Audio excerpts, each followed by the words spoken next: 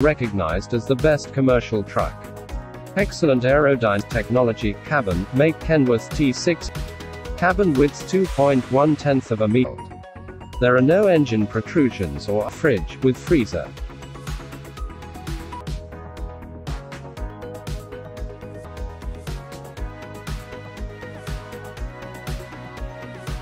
Suspension, center console, adjustable handlebar, dining area with a folding table, two seats and a refrigerator that converts to the couch. Also the interior of the Renault Mag rest of drivers during long flights.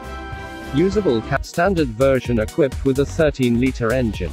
In this and copies of this truck around the world in 15 years, T-Car.